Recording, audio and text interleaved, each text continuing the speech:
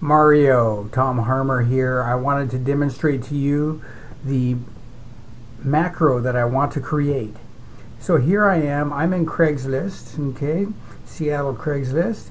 This is a bunch of advertisements of places for rent. So I go into it, and okay, there was no email address there. I'll go to the next one. Okay, so here I'm highlighting.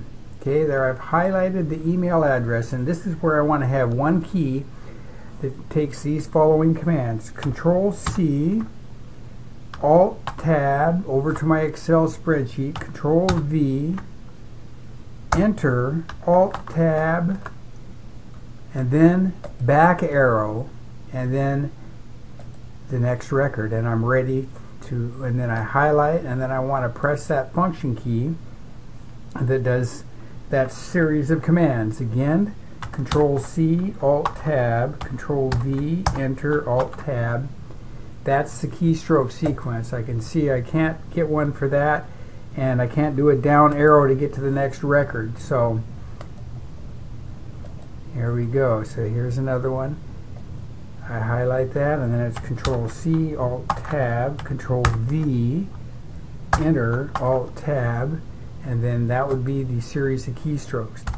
So now I'm in Hotkey Master attempting to create that series of commands. So here I do this, I come down, I click the control, and I click in here and I go C, and that gets me the control C.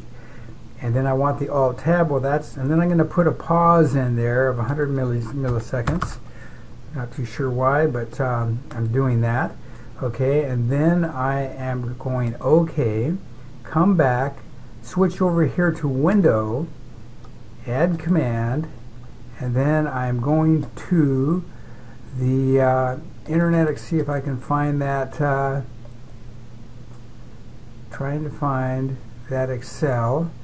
Here's Microsoft Excel, that, that looks like a different one, a different name. Let's see if there's another one. There's only one Microsoft Excel in there, so I'll pick it. I don't recall. Maybe that is it. Yeah, that is. That's the correct one. Okay, so I've got that. Got that, and then I'm saying switch to specified window. Okay. Now I'm doing the uh, the next one here, macro, add command, control V, and then throw another pause in there. Milliseconds, control V, and then an enter. Okay, and then I'm saving that.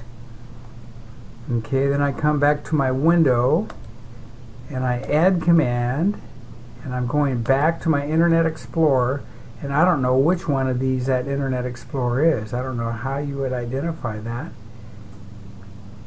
I'll just take the uh, I'll take the last one here. It says uh, I don't know. Got that. Say OK. Then switch to that window OK.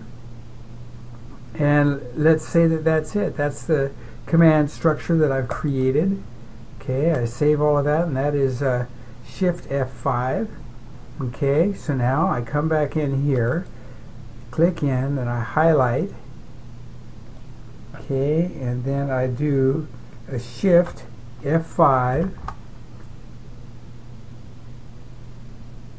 Well, look at that. I had some success there but I just didn't go back. It didn't go back to that Internet Explorer. Well, that's the best success I've had so far. so how do I find the Internet Explorer? Okay, there you go, Mario. I look forward to your reply. Thank you very much.